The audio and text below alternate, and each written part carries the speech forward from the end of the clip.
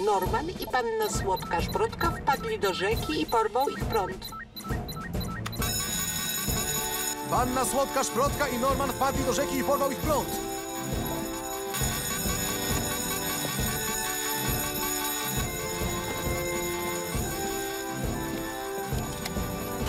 Elvis, bierz Saturna!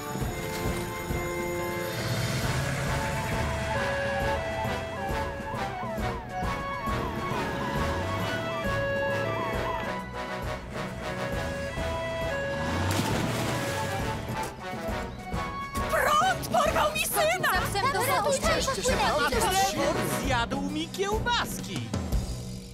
Spokojnie, znajdziemy ich. Uwaga, szykuj się, Saturn. Lecisz.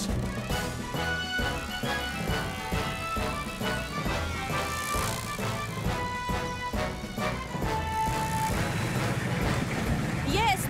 Tam jest! Norman! Trzymaj, złap się tego!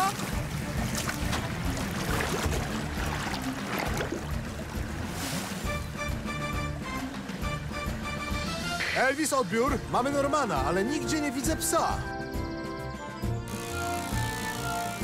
Mam psa sam. Saturn go znalazł. Płynie prosto? Prosto do oceanu? Bez szans, nie zdążymy. Zdążymy, jeśli pomkniemy skrótem.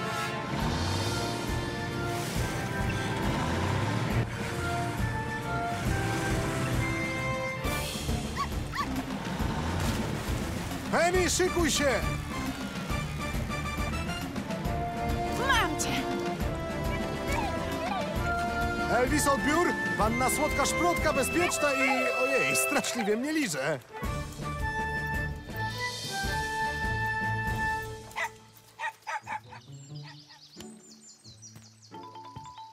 Normanie, zapamiętaj, kiedy zwierzak jest w niebezpieczeństwie, właściciel nie rzuca się na ratunek, tylko dzwoni po odpowiednich ludzi. I bawić się nad wodą można tylko w obecności rodziców. Wiem, przepraszam.